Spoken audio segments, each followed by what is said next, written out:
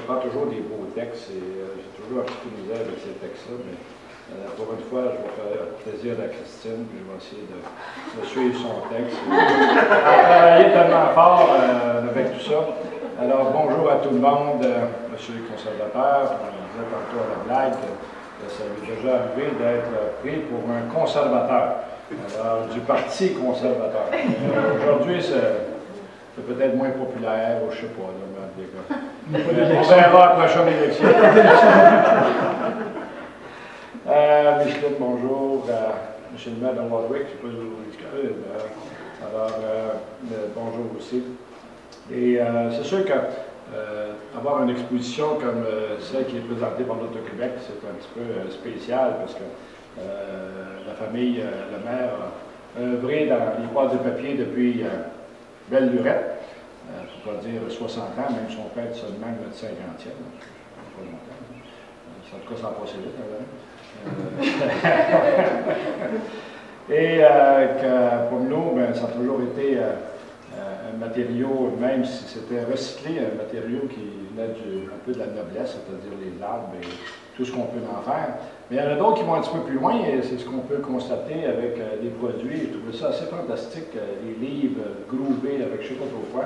Sandblasting. Hein? Sandblasting. Ah, blastait. Ah, c'est une bonne idée, ça. Ça aussi, c'est français. Ouais. Euh, donc, il qu'il y a des artistes, euh, pas seulement locaux, parce qu'on a aussi euh, des gens locaux qui sont très, très prolifiques, euh, qui viennent nous soumettre ça avec beaucoup de, de plaisir et des fois on en rit un peu parce que pas. C'est des artistes, des frères, on avait rien qu'un, c'était Bernard. Euh, ce qu'on dit là, des artistes de, de quoi puis d'autres, nous autres, on, se complétait tous. Euh, on était, on était, on était pas trop pire.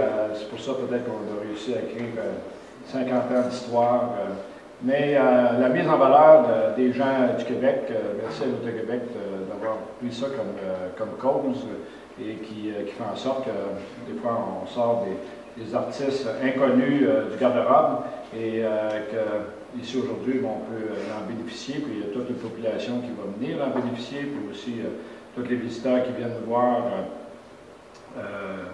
à l'occasion, pas seulement des fêtes du 50e, mais aussi parce qu'il y a des d'été de son côté, parce qu'il y a un parc assez exceptionnel euh, de l'autre bord, et que bien sûr les gens de Kinsey euh, sont des plus accueillants.